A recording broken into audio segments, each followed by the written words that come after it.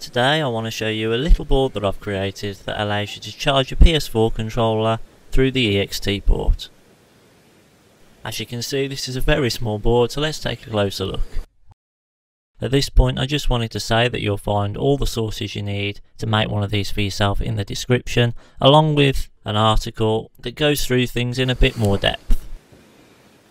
This board supports either a USB Type-C port or a micro USB port depending on your preference.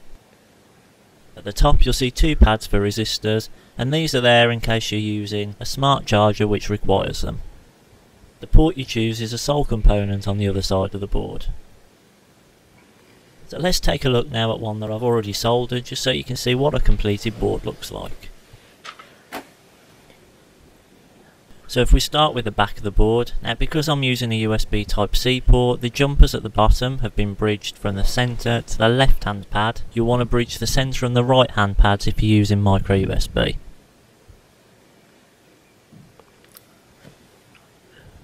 The two resistor pads here are not populated because I'm not using a smart charger.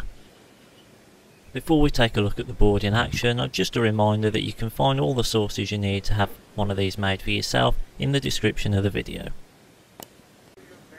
To use the board, simply plug it into the EXT connector, which is found on the edge of the controller between the analog sticks. Make sure that the USB port is on the top of the board. The board's held in by friction, but it should be quite a tight fit.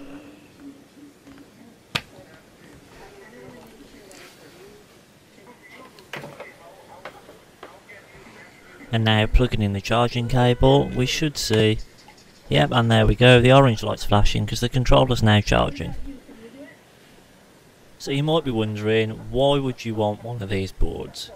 I created this board because it's a great way to diagnose issues with the internal micro USB port of the controller without even having to open it up it could also be useful if you wanted to add USB Type-C charging to your controller, again without having to open it or make any physical modifications to the shell. I've certainly found it useful, and I wanted to share this just in case anyone else would benefit from it as well. You'll find everything you need in the description. So I hope you liked this video, thank you very much for watching and I hope you'll stick around for the next one.